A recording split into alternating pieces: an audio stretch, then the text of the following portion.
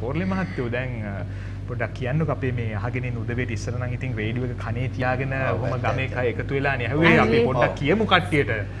මේ මේ ඔක පටන් ගත්තේ 1963 වර්ෂයේ. ඔව් අපි කැමති ඒ විදිහට ඒ හඬින් පොඩ්ඩක් කට්ටිය කැමැත්තෙන් ඉන්නවා කියලා අපිට පොඩි පණිවිඩ කීපයක් මැසේජ් කීපයක් ආවා. පොඩ්ඩක් අහන්නකෝ ඒ විදිහට. හරි හරි හරි හරි හරි හරි. ඔන්න ඔහෙනම් අහගන්නකෝ ඈ.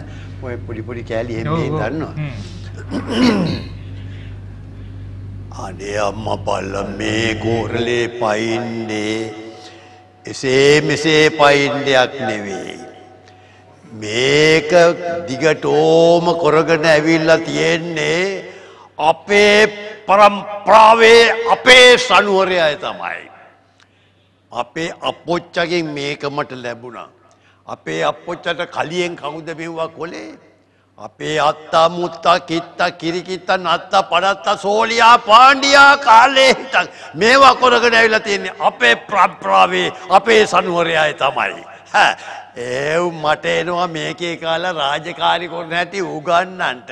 අනේ අම්ම පල්ල මට ඕකුන් අහුනොත් ඒක එක එක එක කොල නැති ගහේ ඇරලා තමයි මම පස්ස බලන්නේ. ඔව් ඔව් ඔව් ඔව් මගේ හැටි එහෙම තමයි.